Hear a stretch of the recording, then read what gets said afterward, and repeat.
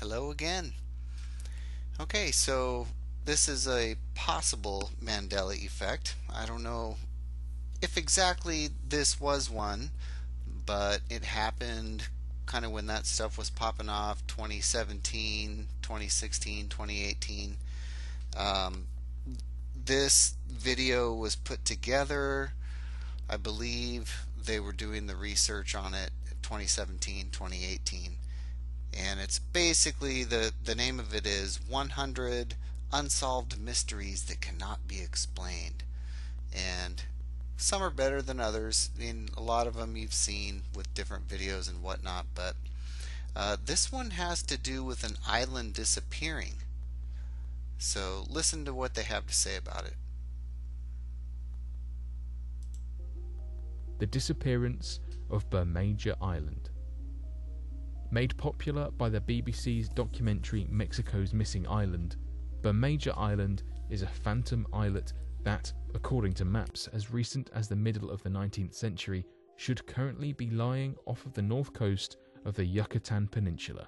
However, for some inexplicable reason, when a recent survey was conducted back in 1997 involving a team of surveyors charting lands to update the Mexican border, the team was unable to locate the Bermeja island and seemingly found that it had completely vanished from existence.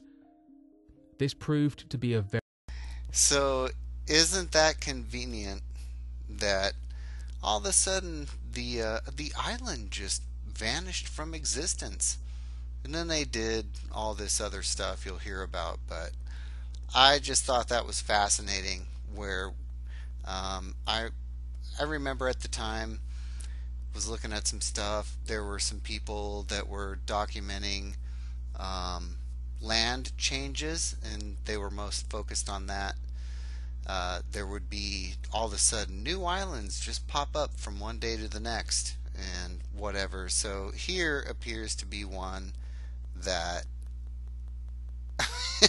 just disappeared.